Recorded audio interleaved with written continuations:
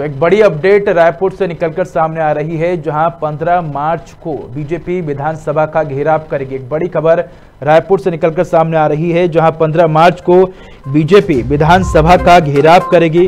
विधानसभा घेराव करने निकलेंगे बीजेपी नेता और कार्यकर्ता। तो कल बीजेपी की घेराव से पहले पिरदा में बड़ी सभा होगी और इसके बाद आपको बता दें कि 15 मार्च को विधानसभा का घेराव करेगी बीजेपी।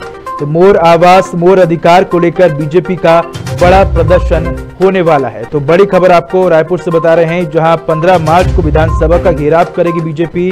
विधानसभा घेराव करने निकलेंगे बीजेपी के नेता और कार्यकर्ता। तो कल बीजेपी की घेराव से पहले पिरदा में एक बड़ी सभा होगी। तो मोर आवास, मोर अधिकार को लेकर बीजेपी का बड़ा प्रदर्शन होगा।